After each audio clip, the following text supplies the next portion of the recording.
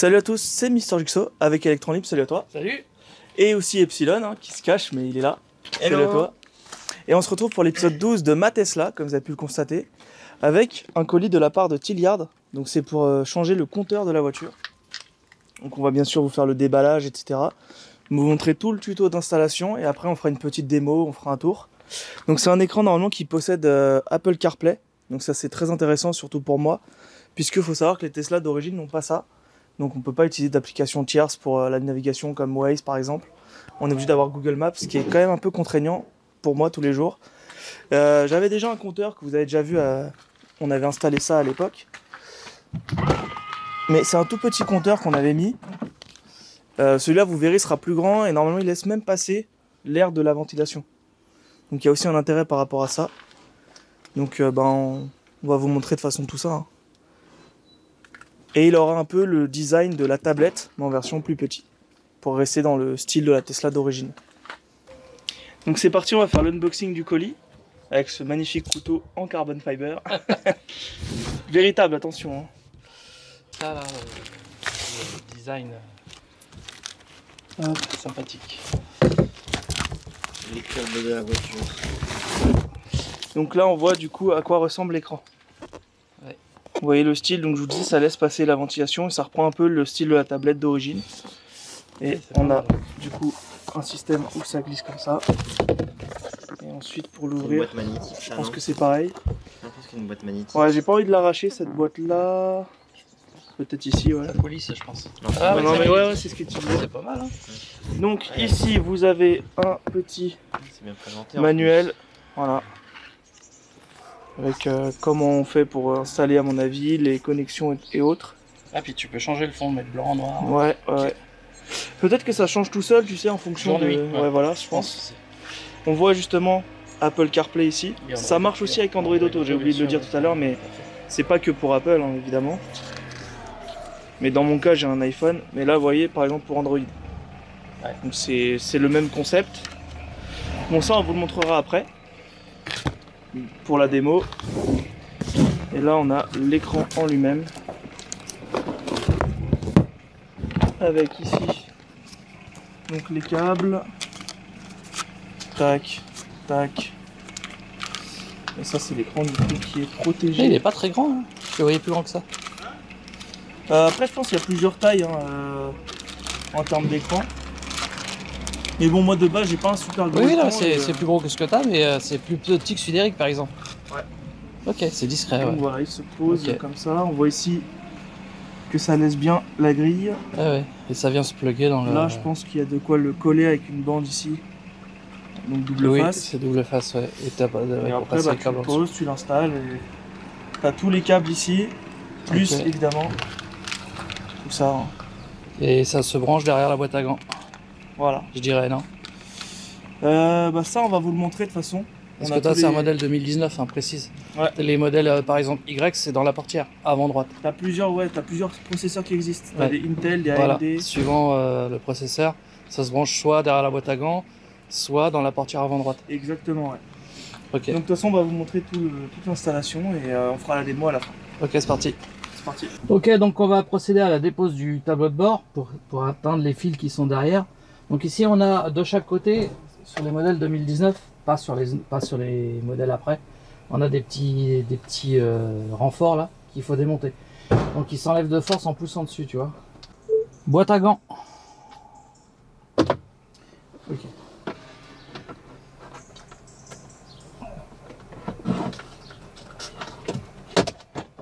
Ok. Déjà là, on y voit plus clair, voilà.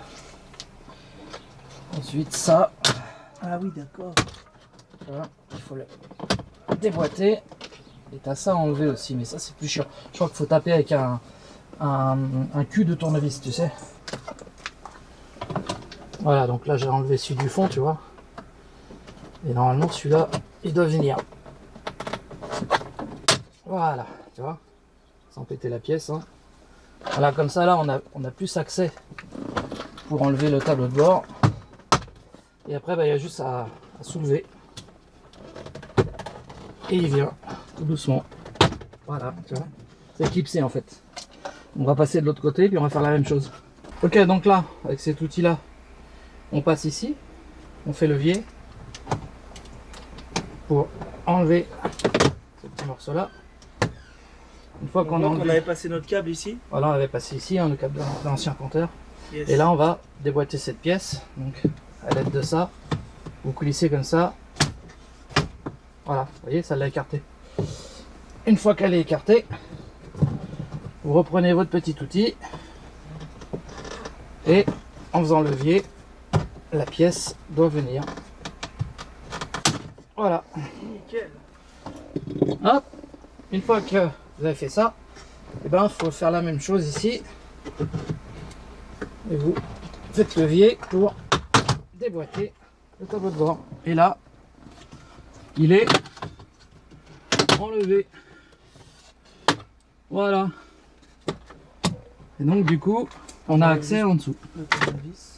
Bon alors Ernesto, on va expliquer un peu un truc, c'est que dans la voiture de Grégory, euh, bon déjà il y a un chat on peut dire, mais bon ça c'est autre chose. Mais dans la voiture de Grégory, il y avait euh, déjà un ancien faisceau puisque euh, il y avait un compteur avant qui appartenait à, Eric. Hein. Et à l'époque on avait retiré le compteur mais pas le câblage parce que sur sa nouvelle Tesla c'était pas le même câblage. C'était un Ryzen alors que là c'est un Intel, c'est ça comment c'est quoi celui-là ah, Intel Atom. Donc du coup là on est en train d'enlever l'ancien câble donc, alors, c'est de la gymnastique parce qu'évidemment, ah c'est branché derrière la boîte à gants avec deux câbles comme ça. Et il faut vraiment se contorsionner. C'est pour ça qu'Ernesto, tu es plus à même de te contorsionner que nous pour débrancher ce câble.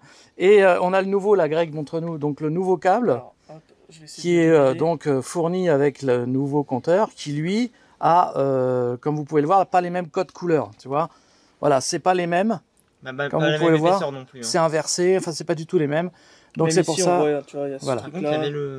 voilà. Donc on est euh, obligé de changer euh, le faisceau quand même. C'est bien écrit Intel. Voilà, c'est bien écrit Intel. D'ailleurs, on précise, vous voyez bien qu'il y a un faux raccord au niveau des tenues. Oui, oui, bah, on a. On avait reçu un Atom, euh, non un, Ryzen. Ryzen.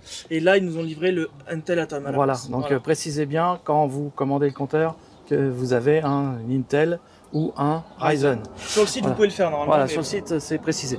donc là, ce qu'on va faire, ce qu'on va finir de retirer ce câble-là, donc là, c'est juste un passe-fil, hein, tout simplement. Et puis ensuite, on va passer ce fil-là, le brancher au même endroit. Donc c'est derrière la boîte à gants. Euh, là, on va essayer de, vous filmer ça, mais ça va pas être facile. Euh, de passer sous la boîte à gants pour filmer, mais bon, on va, essayer de vous montrer ça. Et en fait, bah, c'est juste clippé, hein, dans, le, c'est juste mal placé en fait. C'est très très loin derrière la boîte à gants. D'ailleurs, sur, sur les Ryzen, c'est beaucoup mieux. C'est beaucoup mieux parce que c'est dans la, le montant de portière qui est plus facile à atteindre en fait. Par contre, l'alimentation est plus compliquée à trouver parce qu'il faut aller carrément derrière la banquette arrière. Enfin, c'est tout un. Il faut passer un fil en, dessous. Alors que là, c'est du direct. Que là, c'est directement. Mais c'est un emplacement compliqué. Voilà. Chacun a ses inconvénients, ses avantages. Ses avantages et ses inconvénients. Donc là, on va euh, retirer l'ancien faisceau qu'on a finalement enfin réussi à débrancher. Et on va passer dans le même trou le nouveau faisceau. Sachant qu'il y a vraiment la place. Oui, ça, ça c'est pas un problème. C'est juste euh, que pour nous, avec nos, grosses mains là, on avait besoin d'une petite main, c'est le cas de le dire. Alors vas-y, euh, du coup, passe-lui le nouveau câble. Alors attends, je te passe cette partie. Et en fait, euh, toi, faut que tu passes par le sens inverse. Je pense que je sais pas si ça, ça passe dans le trou du côté. Non, non, je pense que c'est ça. Il va falloir que tu passes par en dessous, je pense, ouais si tu arrives à le choper. Et puis voilà, bon, on passe donc par derrière et on ressort par le petit trou qui se trouve ici. Pour le guider, ça va être une Ouais, ouais. Alors je sais pas si on peut, on va essayer de voir si on peut le passer dans l'autre sens, mais sinon on peut utiliser un passe-fil hein, avec un cintre. C'est mieux d'utiliser un passe-fil. Hein. Ouais. On va voir si on arrive comme ça, mais si on n'y arrive pas, on prendra un passe-fil. Oh, quoique, vas-y, ouais, tu es presque. Voilà, donc bah, tu as réussi à le passer sans passe-fil. Ouais. Tu as réussi à le choper avec tes petits doigts. En galérant un peu comme Ouais, un petit peu, mais ça passe. Ah, il passe en dessous, derrière la boîte à gants, il ressort ici. Voilà. Donc, ça, bah après, là, il ira jusqu'au compteur. Et c'est donc cette partie-là, là, qu'il faut brancher en dessous, c'est toute la difficulté. Euh, ça, je le tiens. Bah là, maintenant, tu sais où ça se branche. Hein. Ouais. Alors, je te laisse le brancher et après, on filmera où tu l'as branché pour montrer. Ça marche. Je te laisserai la caméra. Et je te laisse euh, le brancher parce que tu es mieux placé que moi pour voir Sachant où ça qu'on a quand même dû démonter des pièces. Ouais. Vous avez vu, on a démonté la planche de bord, mais également une partie sous la boîte à gants. Oui, une Un partie en plastique. donc Ouais. si tu veux, Bah, il y on a- montrera. Là où il y a le petit haut-parleur et la lampe. On va ça. vous montrer après. Voilà. Donc voilà la position idéale pour travailler dans la voiture. Aberrant. C'est ce qui s'appelle la banquette inversée. Voilà. Ouais, c'est bien comme ça. Faut d'abord que tu branches la partie la plus large. Et ensuite l'autre. Dessus. Alors tiens, je te laisse voir si tu peux filmer éventuellement là où tu branches. Histoire de, Après. histoire de montrer, ouais. Alors Ernesto, tu nous montres là où tu as branché les câbles. Ouais, alors, il... je sais pas si on va bien voir, hein, mais il y a cette partie, sur cette partie-là, là, une partie du câble et l'autre partie, elle est tout au fond, elle est à ce niveau-là. Voilà. Ok. Et du coup, il faut vachement se contorsionner pour aller les choper. Et puis c'est juste clipsé en fait. Et c'est juste euh, clipsé. Faut, après, faut tirer et ça vient. Bon voilà, c'est le moment de vérité puisque tu vas brancher. Ah bah oui, forcément. ça a tout rallumé. Euh, déjà, c'est bon signe. Ça veut dire qu'on n'a pas pété quelque chose. Voilà, donc il y aura on des branche. aussi. Ouais, ouais, normalement, on peut pas se tromper. Sur le, ouais. Et là, en principe, le compteur devrait s'allumer. Avec le Oui. petit logo Tilliard. Le petit logo Tilliard. Donc, bah, c'est bien ça. C'était bien ce. Ah la dinguerie. C'était bien ce, ce faisceau-là qu'il fallait mettre. hein, voilà. Alors est-ce qu'on peut changer après la couleur de la voiture Oui, oui, je pense qu'après, il faut le configurer. euh, Mais déjà, bonne nouvelle, il s'allume. Voilà, il s'allume, tout, tout va bien. Bon, bah, ce qu'on va faire maintenant, du coup, on va passer proprement le câble ici. Donc là, c'est la pièce qui était euh, sous la boîte à gants qu'on a retirée, donc avec deux branchements à faire, la petite loupiote qui est là, et le petit haut-parleur. Donc on sait tout simplement deux câbles à retirer. euh, Donc on voit la lampe voilà. Donc là, bah, on va la replacer en dessous. Alors il y a trois petits, euh, petits, euh, comment on appelle ça là, des, des espèces de rivets là, ils sont là. Ouais. C'est des trucs comme ça qui le fixent Pour que ce soit bien discret. pour que ce soit bien tenu. Voilà. Donc ça, Ernesto, je te laisse rebrancher les deux, les deux petits câbles. Bon, rien de plus simple. hein. Voilà. Le petit haut-parleur. Oui, il y a un détrompeur. Normalement, tu dois pas pouvoir le brancher à l'envers. Alors, il est assez dur à débrancher. hein. Quand je l'ai enlevé, il était assez compliqué, mais bon, ça va. Ensuite ça, ça se reclip. Ensuite, en bah, ça, tu le reclipses en dessous, puis bah, tu remets les trois petits.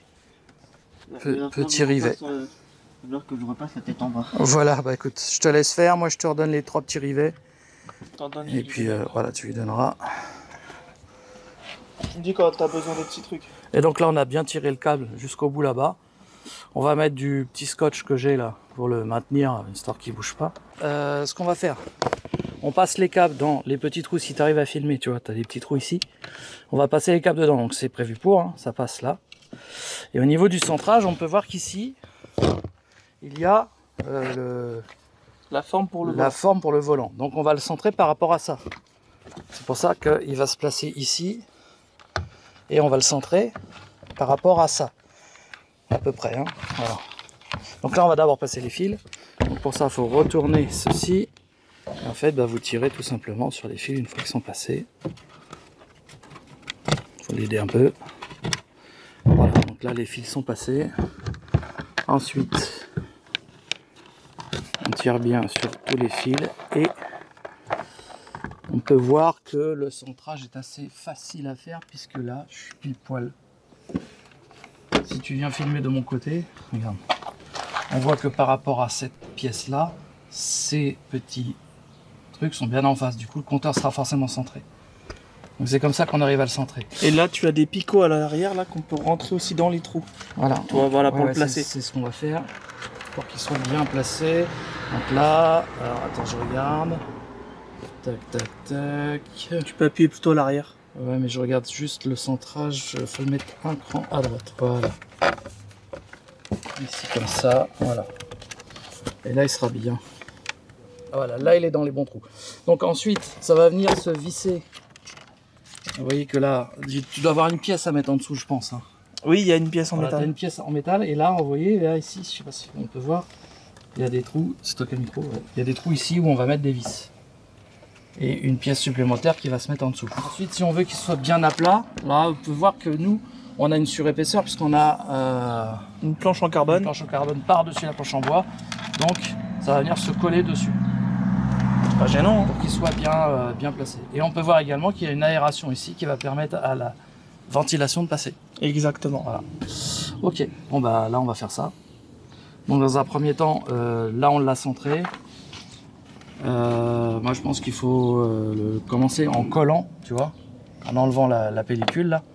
Et ensuite on le fixe. C'est ça. Comme ça il est centré déjà. Ouais, c'est exactement ce que je voulais faire. Ouais. Voilà, si tu arrives à choper toute la pellicule, ce sera parfait. Ben voilà, super. Je te redonne la caméra. C'est bon, nickel. Voilà, c'est bon, tu la tiens. Et là, du coup, on va venir le coller directement dessus. Voilà. Et normalement, ça devrait tenir. Donc là, on a fixé les deux plaques euh, de chaque côté. Donc il y a trois vis par plaque. Ensuite, on a les câbles qui passent au milieu. Qu'est-ce que ça donne au niveau... euh, bah, c'est impeccable. hein. Regarde, ça l'a bien plaqué. C'est nickel. Il est centré par rapport à ça. Donc il n'y a plus qu'un il va juste ouais, derrière le volant, ouais. Ok, donc là on va placer la planche de bord, très délicatement bien sûr, histoire de ne pas abîmer l'arbre magique. Mais je branche les fils? Alors euh, attends, on va déjà... Oui, bah, oui, tu peux brancher le fil. Donc, le fil vert sur le bouton vert, le fil rouge sur le bouton rouge. Attends, je les emmêle pas. Voilà. Et donc on a le jaune qui lui ne sert à rien pour l'instant. Voilà. Ok. Donc là, par contre, on n'a pas mis le scotch comme j'avais dit là pour fixer ça. Ça aurait été mieux, mais bon. On a mis du scotch ici pour bien tenir le câble. Voilà, on a passé le trop plein dans le petit trou qui se trouve ici. Et maintenant, les gars, bah, vous avez plus qu'à reclipser, allez-y. Donc tu vois, tu as des petits trous, tu mets les trucs dedans. Voilà. Et une fois que c'est dedans, tu mets un petit coup de poing. C'est dedans là? Ah ouais. Bon bah là on va remettre les côtés. Donc ces petites pièces là là. Là on appuie dessus. C'est du Lego. hein. Voilà. Et ben c'est remonté, c'est bon? Ton côté aussi? Ouais. Parfait. Qu'est-ce que t'en penses au niveau centrage? Pour moi, c'est nickel. hein. Ouais, il n'y a pas de fil qui dépasse, il a rien. Je vais peut-être montrer. Ouais, vas-y, je te laisse. Filmer. Donc déjà, voici le rendu. Donc j'ai changé la couleur, j'ai mis bleu. Ah voilà, tu peux. Alors, vous avez ici un petit menu là. Et après, il y a les paramètres. Alors, c'est écrit en anglais ou en chinois. Donc, nous, on laisse en anglais évidemment. Donc, le format, moi, je vais remettre 24 heures. Euh, mon GMT, je crois qu'elle était bonne. Après, il y a des trucs, il faut que je regarde ce que c'est. AHD, par exemple, je sais pas ce que c'est. Steer wheel control. C'est, je crois qu'on peut régler des trucs sur le bouton des volants Oui, c'est possible ça, oui. pour Oui, mettre oui, des, tout à fait. des raccourcis. Display. Donc c'est la car color, vous voyez ici. Donc j'ai mis blue. Faut savoir que là ils ont mis par défaut les nouvelles modèles 3, les Highland. Ah oui? Et que le bleu n'est pas identique au bleu qui sera ici. D'accord. Mais bon, ça fait le taf. Euh, température degré, euh, donc la route arc-en-ciel si on la veut ou pas.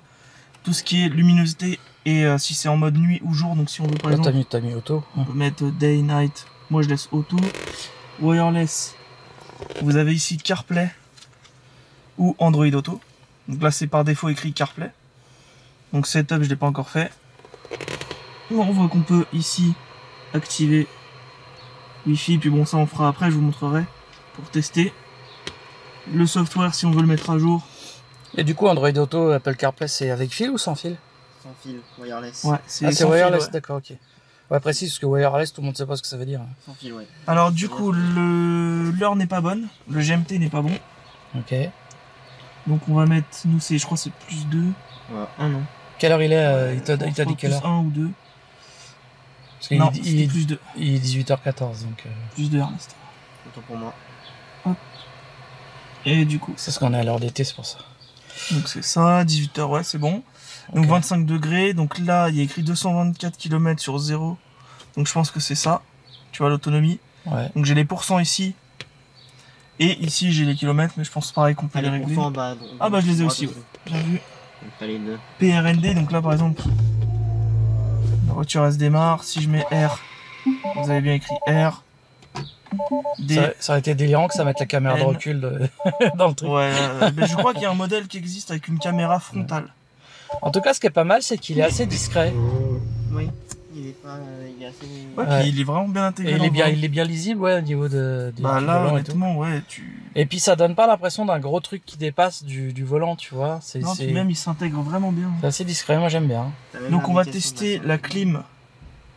Euh, ça je veux bien, ouais, parce qu'il fait chaud là. Ouais, mais on va tester surtout si elle passe bien. Ah oui, Donc là on voit, on va faire exprès de la mettre dans le volant, tu vois ici. Bah, le temps de l'air en tout cas. hein. On va mettre au max. Est-ce que ça passe bien au niveau du compteur? Ah oui, oui, sans, ah oui, sans problème. Ça passe nickel. Euh, si on peut faire une démonstration, regarde. On va prendre ça. Et là, si on le met, on peut voir que. Voilà, Ouais, tu ouais, vois ouais. On voit bien que Alors que ça, ça le soulève. hein. certains compteurs, eux, justement, ils bloquent Voilà. l'accès à la clim. Puisque bah, l'écran en fait va. Ah ouais. Voilà, on voit bien que l'air passe directement. euh, Ouais, ouais, bon, on enlève ça. Ah ouais, ouais, ça marche, c'est On nickel. va enlever la clim quand même pour le bruit. Euh, ici, vous avez pareil, donc, des petits réglages, des raccourcis. Donc là, tu vois directement pour le CarPlay. D'accord, ouais. On va le tester. Ah oui, tant qu'à Tant faire. qu'on y est, hein, on va pas s'embêter. Du coup, j'ai réussi à connecter euh, en wireless, donc avec mon téléphone en Bluetooth, le Apple CarPlay. Alors c'était un peu compliqué, il fallait aller dans les paramètres de euh, l'écran directement. Vous avez ici un petit, un petit trou cranté. Vous descendez dans wireless, donc c'est, euh, vous voyez ici donc il y a CarPlay, Android Auto, et ici vous avez Setup. Et là vous avez le Wi-Fi qui de base est activé il va falloir le désactiver. Donc là, vous voyez, il est off. Une fois que ça c'est fait, vous avez encore le petit menu qui s'affiche avec la flèche là. Et ça, ça vous renvoie soit sur Android Auto ou Apple CarPlay. C'est un raccourci. Et donc là, j'ai réussi à me connecter. Donc vous allez sur votre téléphone, vous suivez la procédure, procédure pardon, habituelle avec le petit logo Bluetooth qui va apparaître. Vous mettez bien utiliser CarPlay. Et donc là, on voit que j'ai Waze qui est dessus. Ça, c'est pratique. Et ça, c'est vraiment bien parce que parallèlement à ça, si je veux, sur la tablette de la Tesla, j'ai euh, tout ce qui est euh, navigation. Donc, euh, Voilà, la vois navigation ici, classique. Voilà. Et là, à part, tu as. euh, Donc j'ai Waze qui va me permettre pour notamment les radars, les, par exemple s'il y a des bouchons, des trucs qui vont m'indiquer ouais, en plus sur Waze que par exemple lui n'aurait pas vu. qui s'est allumé. Voilà, on voit qu'il m'appelle. On voit que ça sonne pas sur le téléphone mais directement ici. Ah voilà, donc si tu décroches, tu n'as plus ton Waze. Là, il y a du son dans l'écran? Oui, oui. Il y a un petit. Allô? Ouais, test. Ah Mais bah non, oui, mais il y a ça du marche. son dans l'écran? Ça marche, oui, oui. Tu euh, m'entends bien? Ouais, ouais, je t'entends nickel. Attends, mais c'est une dinguerie parce que là, il y a le haut-parleur intégré. Donc là, il n'y a plus mon Waze, mais rassure-toi, t'as juste à faire ça. Ah, tu l'as quand même, ok, d'accord. oui, oui. Et tu peux continuer de parler. Et là, tu m'entends toujours? Ouais, je t'entends toujours. Ouais, tu vois. Ah bah super. qui m'entends toujours normalement. C'est une dinguerie, les gars. Ah ouais, là c'est top. Voilà, c'est ce que tu vois, c'est ce qu'il Ah, fallait ça, montrer. ouais, c'est une dinguerie. Ce qu'il fallait on montrer. voit aussi en petit le compteur hein, euh, ici de la Tesla en fait. Ouais. Avec les rappels, donc Bien sûr. pourcent de batterie et l'autonomie qui va avec. Et PRND, PRND, vitesse, bien sûr. La vitesse, on, là, là on voit que je suis pas attaché, mais c'est normal. Ouais. Voilà, donc tu as tous les rappels à droite et ici toute la partie Apple CarPlay. Ok. Si tu veux enlever le Apple CarPlay, faut pas oublier, vous pouvez revenir. Hop, vous faites ça à droite là. Il y a le petit menu qui veut pas apparaître, je sais pas pourquoi. Peut-être parce que t'es au téléphone. Euh, ouais, Ouais. peut-être en vrai. Ouais, t'as raison, c'était pour ça. Donc là, vous avez là, vous rappuyez en fait sur euh, la flèche. Euh, attends, c'était où Voilà, go back. Et tu reviens sur le menu. D'accord. Bon, c'est c'est pas mal quand même. On voit même le nombre de kilomètres total de la voiture. Ah oui. Alors, euh, pour ceux qui se posaient la question de à quoi sert le fil jaune, Oui. c'est tout simplement qu'on peut rajouter une caméra dessus. En fait, ouais, voilà, vous avez ici un paramètre qui s'appelle AHD. Vous allez dans Setting. Et donc là, il y a la résolution de la caméra. Voilà. avec tout ce qui est saturation, framerate, etc. Et euh, si on veut l'effet euh, renversé de ces miroirs de, Mm. du film, on voit ici, si je fais save and quit, no signal. Ouais. Faut savoir que moi j'ai eu le modèle sans la caméra. Ouais. J'ai pas spécialement demandé non plus d'avoir la caméra, mais on peut avoir une caméra frontale. Ok. Euh, donc évidemment, moi ça ne sert à rien. Donc on retourne ici et je regarde mon menu de base. Ok, bah super, bah je pense que. Donc on peut remettre le petit Android Auto Apple Je CarPlay. pense qu'on a tout dit là-dessus. Je te laisse conclure, tiens. Bah on va faire une balade quand même pour montrer en mouvement Ah oui, si tu veux, on peut. et on fera la conclusion une fois la balade terminée. Mais en tout cas le compteur est très très beau. Euh, un petit peu compliqué à paramétrer au début, mais bon, faut pas oublier qu'on a quand même une notice fournie avec. Il faut prendre le temps de la lire, Voilà. de fouiller un peu dans les menus. C'est pas compliqué. Après, le niveau de difficulté le plus dur, c'est quand même de passer le câble là Ouais. derrière, euh, sous la boîte à gants. Euh, c'est vrai que c'est assez compliqué. Par contre, ça a un avantage quand même sur la tienne, c'est que tu n'as pas à chercher la source d'alimentation. C'est-à-dire que tu branches derrière la boîte à gants. C'est compliqué à y aller, mais tu branches chez plug and play. Mhm. Sur celle d'Eric, par exemple, il a fallu plugger dans la portière, dans le montant de portière, et ensuite aller tirer un fil plus à un plus après contact Ouais, compliqué. qui ouais. se trouve sous euh, la banquette arrière. Et donc, ça fait tirer un faisceau supplémentaire. Alors, il y en a, ils le mettent dans le frunk à l'avant sur les modèles Y. Et sur la modèle 3, on peut le choper sous la banquette arrière. Donc, si vous avez un Ryzen, il faudra brancher dans le montant de portière et sous la banquette arrière. Si vous avez un, un Intel euh, Atom. Atom, c'est derrière la boîte à gants, plug and play. Mais compliqué à atteindre parce que très profondément ancré derrière la boîte à gants. Alors on peut noter également que euh, l'intégration est parfaite vue d'extérieur. hein. C'est vraiment super beau. Ça fait vraiment euh, comme la tablette d'origine qui nous on a rajouté une petite dalle en carbone, mais ça fait vraiment... Si on euh, n'avait pas mis le carbone, c'est la même couleur. Ouais, c'est vraiment comme l'origine. hein. Voilà. Ah, c'est vraiment magnifique. Là c'est top. Bon bah voilà, premier euh, tour de roue avec le nouveau compteur. Ouais. Déjà, Euh, j'aime beaucoup. Ouais. Ah, quand il y a clignotant, tu vois, comparé à avant, Oui, il y a un machin rouge. il y a ça et surtout, ça clignote. Parce qu'avant, quand je mettais le clignotant sur mon compteur que j'avais, Ah oui, ça mettait le logo du clignotant mais restait fixe. d'accord. Une petite différence déjà. Euh, bah, L'interface, là, j'ai partagé, donc on voit Ouais. mon Apple CarPlay.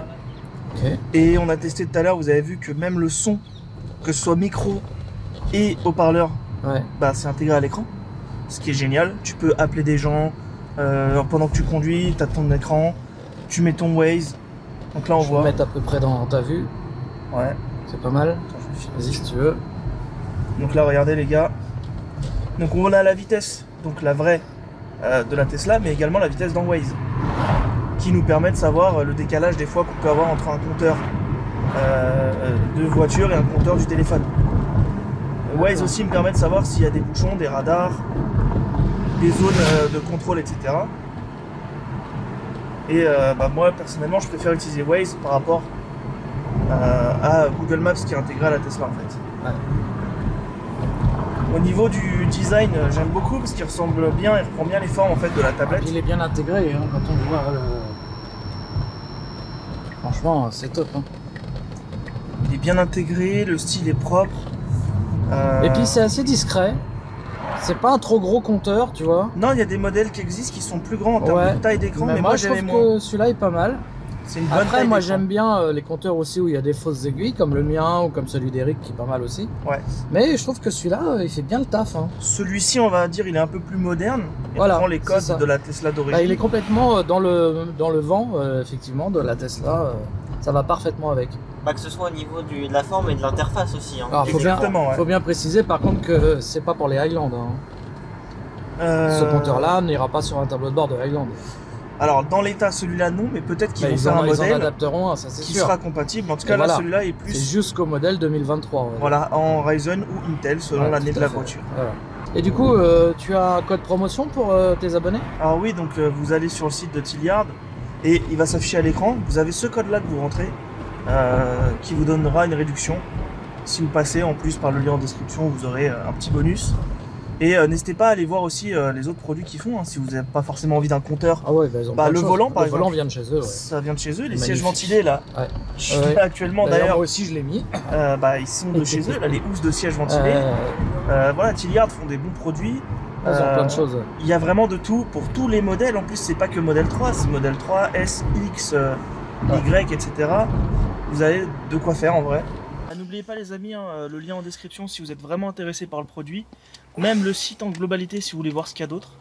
Euh, on vous invite à mettre un petit like, comme d'habitude, à la vidéo, à vous abonner à ma chaîne et à celle d'Electron Libre, qui filme, qui a aussi bien contribué à, C'est à clair. tout ce binge. Et à Ernesto qu'on Et remercie. Ernesto qu'on remercie énormément, ouais. Et puis euh, n'oublie pas aussi euh, l'Instagram, Mister Jigsaw, que je suis en train de Instagram, filmer là. Instagram, YouTube, de toute façon, partout, Voilà. c'est le même pseudo. Et oubliez pas aussi ceux qui sont, qui sont fans de gaming, Discord en description pour rejoindre pour les rassemblements de voitures dans GTA. Ouais, tout à On fait. vous dit à bientôt les amis, c'était Mister Jigsaw et Epsilon, Electron Libre. Allez, salut à tous. Salut Ciao tout le monde